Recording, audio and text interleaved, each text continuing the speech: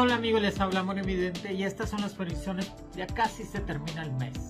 Pero ¿qué cartas están dominando completamente estos días?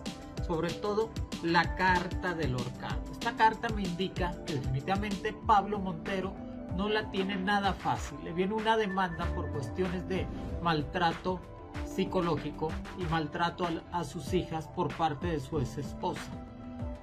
Lo vimos en ese video que está muy alterado con algunas copas de más, pero lamentablemente Pablo Montero está sufriendo de brujería. Alguien más, una tercera persona o otra mujer, le está haciendo brujería a Pablo Montero para que esté reaccionando así tan, tan mal con su ex esposa y con sus hijas. Y esta carta me dice que próximamente va a tener problemas legales fuertes y lo veo pisando la cárcel. Así que Pablo, por favor, trata de dialogar límpiate de esa brujería que te está haciendo una tercera mujer en discordia.